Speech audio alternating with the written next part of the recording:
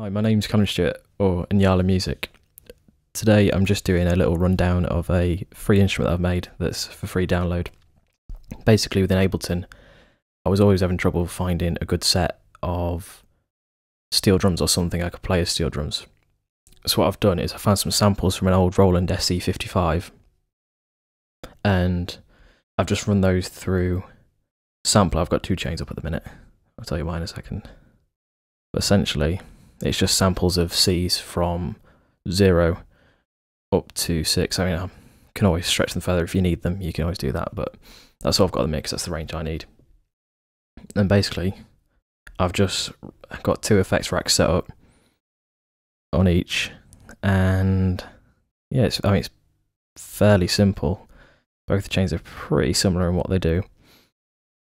Um, in terms of macro controls, I've not added a lot because I didn't want too much going on, but I think what you've got is a fairly flexible sound.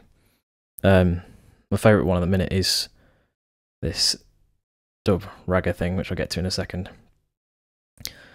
But uh, now if we go through them all, they're all fairly useful tools, I think.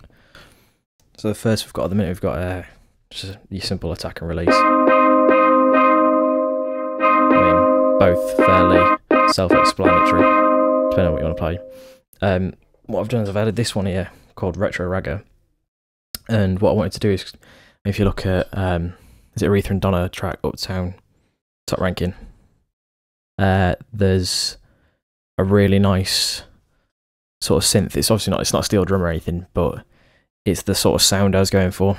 So what I've done is I've run that through. Uh, where is it? Uh, here we go.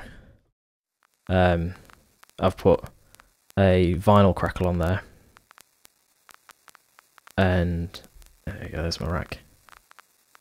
Uh, there's yeah, there's vinyl crackle and everything like that. Um, it's no, I kept it fairly simple actually because I didn't want to overcomplicate everything. But there's vinyl crackle, there's bits of compression, there's a saturator on there as well. But no, all in all, there's not a lot to it.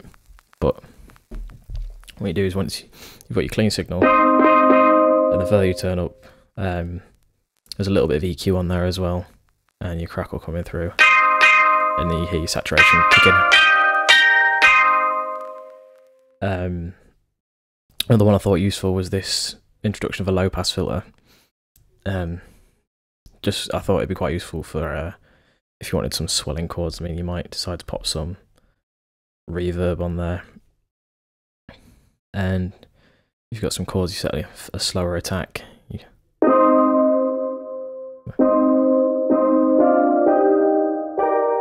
Just a bit more mellow. It might be useful if you want to do some perhaps some pad sounds like. It all depends essentially what sound you're going for. Um, just set those back. Uh, I added a glue compressor just because I sometimes I like the sound of that over over compressed sound. All that's mapped to is the threshold, so the makeup gain stays exactly the same. Um, that fairly basic. Um, it say it applies on the other signals too, so you get a compressed retro signal as well. Um, one I really like is to say my favourite is this dub ragga. All it is is a ping pong delay, um, set to the same values on both the uh, what you call it, both on the clean and the retro channel. Because um, I've always been a big fan of dub reggae and stuff like Easy Star All Stars and stuff like that. And I think it's quite a nice little effect, especially if you couple that with your low pass. Um, is set up that's just a dry wet mix, so 100% wet, and then 100% dry. Um, again, it applies to your to both signals, and it's quite quite useful little uh, tool, I think. Um, I added a chorus on it as well. It's only something simple, just add a bit of colour That's just, again, it's just a dry wet. And the same with this tremolo here. I mean, if you really want to, obviously you can go into uh, into your actual into the rack itself, into the effects, and choose whether you want them. You want to change your dry, wet, and stuff like that, and the range of them. Perhaps if you go up into your macro settings up here. But all I've done is I've um, put a dry wet on, set it to 100%, but amount wise, I've kept it quite subtle because I didn't want something too overbearing. So I think it's quite, I think it's quite a tasteful. I'd like to think it's quite tasteful tremolo. I think it sounds really nice, especially if you put your put the delay on it and then run your delay through the tremolo because that's last in the chain. Uh, you get some interesting, almost pad-like sounds.